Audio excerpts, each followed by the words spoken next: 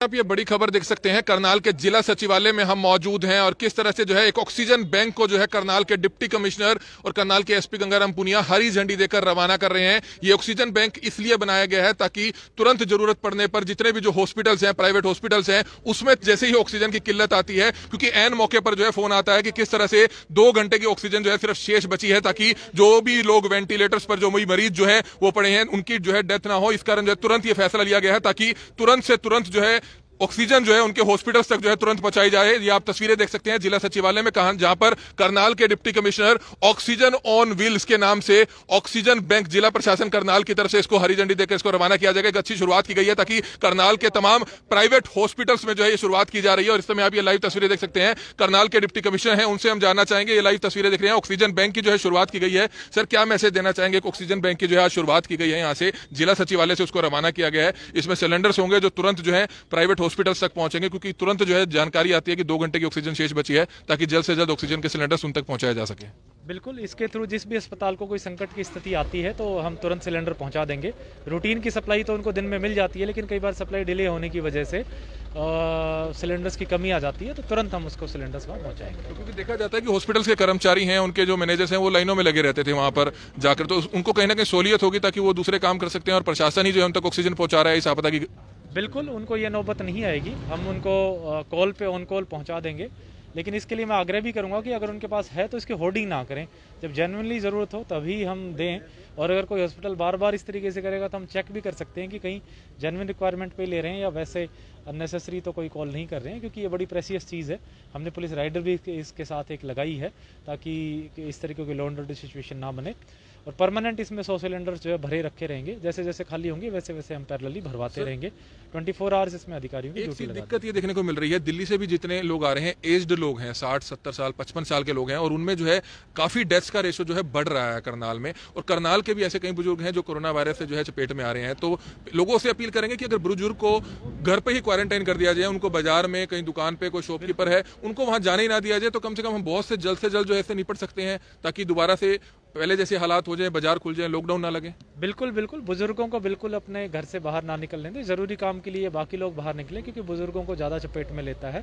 और थोड़े दिनों की बात है एक बार सिचुएशन नॉर्मलाइज होती है। सबको वैक्सीनेट ज़रूर कराएँ ये भी मैं साथ में एक मई से अठारह साल एक मई से अठारह साल का वैक्सीनेशन चावला में कितने वेंटिलेटर काम कर रहे हैं? सर कितनी उनकी कितने हैं ये? अभी हमारी जो कोविड बेड की क्षमता है फिफ्टी हाँ। है जो आईसीयू बेड है बेसिकली सब जगह high flow oxygen with ventilator है। जहाँ जहाँ भी वेंटिलेटर की ज़रूरत पड़ती है, लगा दिया जाता है।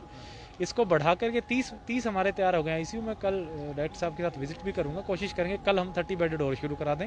इसके अलावा बीस और हमने ऑर्डर किए हुए हैं। तो अंत में हमारी कैपेसिटी लगभग 108 110 के करीब आईसीयू बेड्स हमारे हो जाएँगे। तो बिल्कुल बहुत ही अच्छी शुरुआत की गई है एक बहुत ही अच्छी शुरुआत की गई है ताकि तमाम प्राइवेट हॉस्पिटल्स को ऑक्सीजन की दिक्कत ना आए। इस समय दो और जो मज़बूत अधिकारी हैं जो स्तंभ है करनाल के जिला प्रशासन के करनाल के सीएमओ है डॉक्टर योगेश शर्मा वो हमारे साथ मौजूद है। कल्पना चावला के डायरेक्टर है डॉक्टर डॉक्टर जगदीश जुरेजा वो हमारे साथ मौजूद है। काफ़ी अहम जिम्मेवारी इन दो कंधों पर भी है, ताकि कोरोना से जो है लड़ा जाए और जल्द से जल्द जो है इसे जीता जाए। और इस समय सीएमओ सर हमारे साथ मौजूद है। तमाम हॉस्पिटल्स जो इनके अंडर आते हैं। सर, क्या कुछ कहना चाहेंगे? केसेस लगातार बढ़ रहे हैं। एक ऑक्सीजन बैंक की शुरुआत की है, क्योंकि अमूमन देखा जा रहा था प्राइवेट हॉस्पिटल्स में। तुरंत जो है जानकारी आती है कि ऑक्सीजन खत्म है। और ऑक्सीजन जब तक पहुँचती थी तो दो तीन लोगों की जो है ऑक्सीजन की कमी के कारण डेथ हो जाती थी। इस तरह के मामले सामने आए हैं करनाल में भी। तो किस तरह की शुरुआत की गई है? ऑक्सीजन बैंक की शुरुआत की गई है। कैसे ये हॉस्पिटलों तक पहुंचेगी? क्या जानकारी देना चाहेंगे? नहीं, ये एक मैं बिल्कुल क्लियर करना चाहूँगा, करनाल में अभी तक कभी भी ऑक्सीजन क्राइसिस नहीं आया। हाँ ये ज़रूर होता था कि कुछ हॉस्पिटल जो हमने सिक्सटीन हॉस्पिटल जो इसका काम कर कोविड का कार्य कर रहे हैं, उसमें उसकी डिस्ट्रेस कॉल ज़रूर आई है कि दो घंटे की ऑक्सीजन बची है, लेकिन प्रशासन ने और सब, और सभी ने मिल के इमीजिएटली उनको सिलेंडर उस टाइम पे पहुँचाए हैं। तो ऑक्सीजन की कमी कभी भी हमारे डिस्ट्रिक्ट में नहीं हुई है अभी तक, और एक बहुत बड़ा इनिशिएटिव जो है आज हमारे उपायुक्त के नेतृत्व में लिया गया है, जिसमें ऑक्सीजन सिलेंडर्स जो हैं ऑन द व्हील वो गाड़ी में रखे जाएँगे। कभी ऐसी सिचुएशन आ जाए किसी हॉस्पिटल में कि वो बिल्कुल उसके एक घंटे की आधे घंटे की ऐसी रह गई है इमीडिएटली सिलेंडर्स वहाँ पहुँचाए जाएँगे और किसी भी पेशेंट की ऑक्सीजन की डेफिशिएंसी के कारण दिक्कत नहीं होने दी जाएगी। तो बहुत अच्छी शुरुआत की गई है सर। एक और जानकारी है कि 30 और मोनिटर्स जो है मंगाए गए हैं कल्पना चावला में। वो भी जो है जल्दी काम करना शुरू कर देंगे। इस पर क्या कहना चाहेंगे जी? देखिए बिल्कुल थर्टी बेड का आईसीयू एक इंक्रीज किया जाना है। वो अगले तीन चार दिन के अंदर वो डेफिनेटली वो भी शुरू हो जाएगा। इसके अतिरिक्त हंड्रेड ऑक्सीजन बेड्स जो हैं वो भी हम बहुत जल्द कल्पना चावला में और एडिशनल देने जाएँगे, जो माइल्ड पेशेंट्स होते हैं, जिनको थोड़ी ऑक्सीजन की आवश्यकता रहती है। हंड्रेड ऑक्सीजन बेड्स जो है, वो भी कहीं ना कहीं हम अभी जल्द से जल्द वहाँ शुरू करना चाहेंगे। तो प्रशासन अपनी तरफ़ से पूरी तरह प्रयासरत है कि बेड्स की कैपेसिटी को भी बढ़ाने की आईसीयू बेड्स की कैपेसिटी को बढ़ाने की और इसके अतिरिक्त जो मैन पावर है वो भी हम आईएमए के साथ मिलकर इन जो जो माइल्ड वाले पेशेंट्स हैं या आईसीयू जो नए हैं उनको कैसे चलाया जाए उनकी कहाँ हेल्प ली जाए वो भी करेंगे। सर एक फूसगढ़ के कम्युनिटी सेंटर में भी जो है सौ से ढाई बेड का जो है ऑक्सीजन बेड वहाँ पर बनाए गए हैं। तो वो क्या शुरू हो चुके हैं और क्या क्या सुविधा वहाँ रहेगी? देखिए वो बिल्कुल ऐसे पेशेंट है जो जो होम आइसोलेशन में नहीं जा सकते और उनको किसी तरह की ज़्यादा कोमॉर्बिडिटी या ऑक्सीजन की रिक्वायरमेंट नहीं है। तो उनके लिए 250 बेड का सी सी फूसगढ़ में बनाया गया है। उसमें हालाँकि हमारे डॉक्टर्स राउंड द क्लॉक होते हैं, आयुष के डॉक्टर्स होते हैं, हमारे जो फिजिशियन है, वो भी दो टाइम उसको जाके चेक करते हैं राउंड करते हैं। इसके अतिरिक्त वहाँ ऑक्सीजन और एक छोटा हॉस्पिटल वहाँ पे भी सेटअप किया गया कभी किसी को अचानक ज़रूरत पड़े तो इमीडिएटली ऑक्सीजन दी जा सके। परंतु वो सभी स्टेबलाइज्ड पेशेंट वहाँ रखे जाते हैं। सर इस बार केंद्र सरकार की रूलिंग्स है कि जहाँ जहाँ कोरोना के केस बढ़ रहे हैं सिर्फ़ उसी इलाके को चिन्हित कर लॉकडाउन किया जाए जैसे करनाल के सेक्टर सात और सेक्टर आठ पार्ट टू में पहले लॉकडाउन लगाया गया अब तीन और इलाके चिन्हित किए गए हैं। लोग पैनिक ना हो इसलिए लोगों को क्या मैसेज देना चाहेंगे? सेक्टर तेरह का कुछ इलाका चिन्हित किया गया है सेक्टर छह का इलाका है और कुछ रामनगर का इलाका है। कौन कौन से वे इलाके हैं जिनको चिन्हित किया गया है? देखिए सेक्टर सेवन कंप्लीट सेक्टर और सेक्टर पार्ट टू एट में कल किया गया था, क्योंकि ये यहाँ पे डेंसिटी पॉजिटिव केसेस की बहुत देखी गई है। और ये भी देखा गया कि रेगुलरली केसेस यहाँ से आई जा रहे हैं।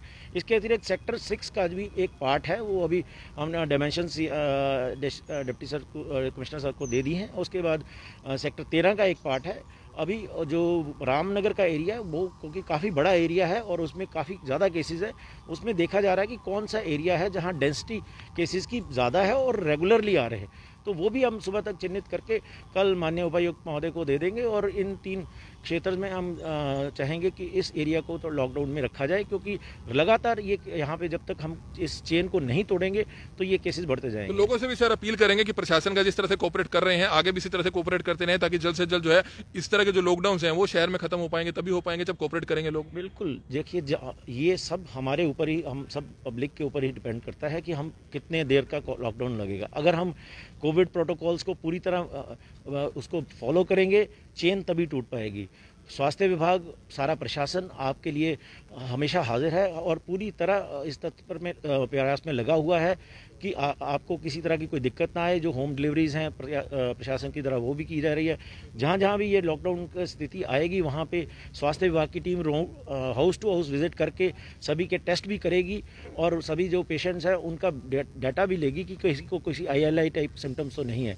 और इसके अतिरिक्त उस सभी एरिया के आसपास कोई ना कोई हॉस्पिटल की व्यवस्था भी हम करेंगे कि जहाँ कोई माइल्ड टू माइल्ड पेशेंट है वो जाके अपना दिखाना चाहे जो इमीडिएटली अपना उपचार लेना चाहे वो कर सके वहाँ। धन्यवाद तो ये आपने देखा कि बहुत अच्छी शुरुआत की गई है, हिमांशु मेरे सहयोगी हैं, उनसे भी जानना चाहेंगे, लेकिन सबसे बड़ी बात यह है कि तीन एरिया को चिन्हित कर लिया गया है, करनाल के सेक्टर तेरह का कुछ इलाका, करनाल के सेक्टर छह का कुछ इलाका, करनाल के रामनगर लाइन पार एरिया का कुछ इलाका। पैनिक होने की ज़रूरत नहीं है, क्योंकि आप ये चीज़ मान के चले, आपके भले के लिए, आपके परिवार के भले के लिए हो रहा है, और कुछ दिन के लिए है, पाँच से सात दिन का समय है, एक हफ़्ते का समय है, शनिवार, इतवार वैसे छुट्टी होती है, लेकिन एक हफ़्ते का समय है, मजबूरी है, घर पर रहना पड़ेगा, क्योंकि कहीं ना कहीं जान बचानी है, जान बचानी है, खासतौर पर बुज़ुर्गों में जो है कोरोना का केसेस जो आते हैं, उनको जो है बचाना बहुत ज़्यादा ज़रूरी है, क्योंकि दिल्ली के जितने भी केस आ रहे हैं, देखा जा रहा है कि तकरीबन पचपन, सत्तर साल की उम्र के बीच में है, जिनकी डेथ हो रही है। यंग लोग बहुत कम है। पाँच या दस फ़ीसदी यंग लोग होंगे, लेकिन अस्सी से नब्बे फ़ीसदी जो है, बुज़ुर्ग लोग ज़्यादा देखे जा रहे हैं, जिनकी डेथ हो रही है। इसलिए बुज़ुर्ग लोगों को संभालने की ज़रूरत है, उनको समझाने की ज़रूरत है, उनको जागरूक करने की ज़रूरत है। अमूमन हमारे परिवारों में देखा जाता है कि बुज़ुर्ग लोग मानते नहीं है।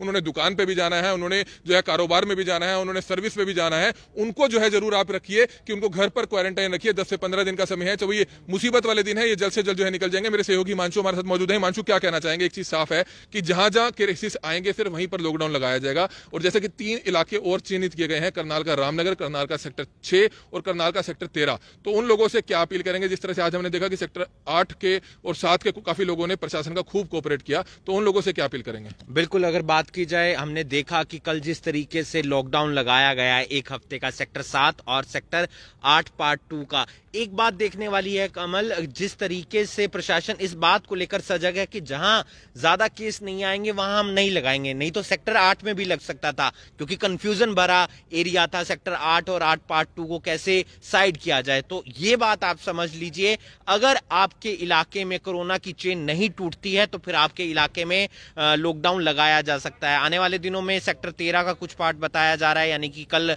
रात बारह बजे से, और सेक्टर छह का कुछ पार्ट बताया जा रहा है। रामनगर का एरिया कुछ बताया जा रहा है। क्योंकि भीड़ भाड़ के इलाके हैं, छोटे मकान हैं, ऐसे में कोरोना की जो चेन है, वो लगातार बनती जाती है, क्योंकि लोग मानते नहीं है, लोग मानेंगे नहीं पॉजिटिव होने के बाद भी बाज़ार में आएँगे और लोगों को संक्रमित करेंगे, क्योंकि सेक्टर सात और आठ पार्ट टू से यही शिकायतें आई थी कि लोग कोरोना पॉजिटिव हैं और पॉजिटिव होने के बाद बाज़ार में घूम रहे हैं। ऐसे में चेन जो है, कोरोना संक्रमण जो फैलने का खतरा है, वो और ज़्यादा बढ़ जाएगा। एक बड़ा अपडेट ये है हरियाणा के लिहाज से कि पूरे सभी जिलों के अंदर धारा 144 लागू कर दी गई है। ये पहले कुछ जिलों के अंदर लागू की गई थी फरीदाबाद गुरुग्राम और करनाल और कुछ इलाकों में जिलों में ये धारा लागू की गई थी। लेकिन अब पूरे हरियाणा के अंदर धारा 144 लागू कर दी गई है। तो इसका मतलब ये है कि अनावश्यक रूप से अगर चार या पाँच लोग इकट्ठे होते हैं या इससे ज़्यादा लोग इकट्ठे होते हैं तो फिर उनके खिलाफ कार्रवाई की जा सकती है तो कमल। से आप कहना चाहेंगे कि लॉकडाउन प्रशासन बेशक लगा रहा है लेकिन ये हमारे लिए लगा रहा है।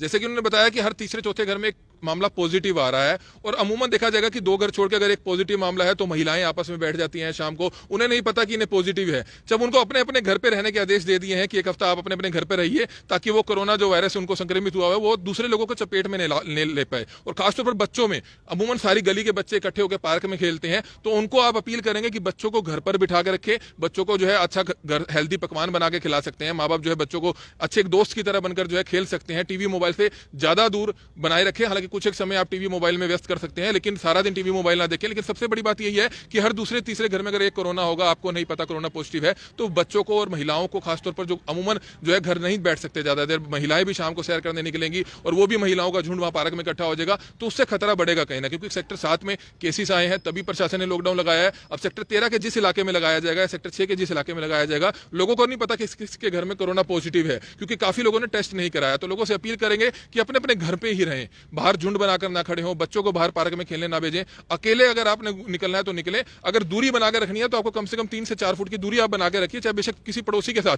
बेशक किसी कोरोना पॉजिटिव भी है आपको, उससे भी जो है छुआछूत की तरह बात नहीं करनी है। आप तीन से चार फुट की दूरी बनाकर रखे, वो अच्छा लगेगा उससे कहीं फ़ोन पे आप उसको समझा सकते हैं। अगर आपके पड़ोस में कोई कोरोना पॉजिटिव आया तो आप फ़ोन पर उससे बातचीत कर सकते हैं, उसे मोटिवेट कर सकते हैं, उसे समझा सकते हैं कि डरने की ज़रूरत नहीं है, हम तुम्हारे साथ हैं। इससे बंदे का जो दिल होता है, वो मज़बूत होता है कमल। लोग शाम के समय क्या करते हैं कि चलो, हमारे इलाके में लॉकडाउन लगा है लेकिन सामने पार्क है। यहाँ पर क्रिकेट खेल लेते हैं बैडमिंटन खेल लेते हैं, सैर कर लेते हैं, योगा कर लेते हैं। योगा आप अपने घर में कीजिए, अकेले में रहकर कीजिए। यानी यानी कि पाँच से सात दिन आपको अपने घर में बिताने हैं। घर में आप बिताएँगे तो ज़्यादा बेहतर रहेगा। अगर आप झुंड में वापस चले जाएँगे, अगर आप भीड़ में वापस चले जाएँगे, आप समूह में चले जाएँगे तो फिर वो लॉकडाउन लगने का कोई फ़ायदा नहीं होगा। आज का जो मैं आंकड़ा बताना चाहूँगा, वो ये है कि 720 नए कोरोना पॉजिटिव केस आए हैं। छह मरीजों की मौत हुई है।